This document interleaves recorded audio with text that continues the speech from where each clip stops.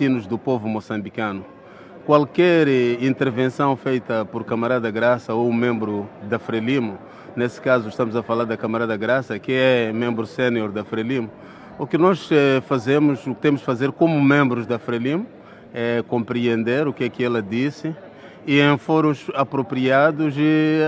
uh, os órgãos do partido irão uh, fazer avaliação querendo, mas eu acho que camarada Graça é uma é, é uma grande mulher uh, para a Frelimo, foi esposa do primeiro presidente da República Popular de Moçambique, quem criou o Estado moçambicano. Então,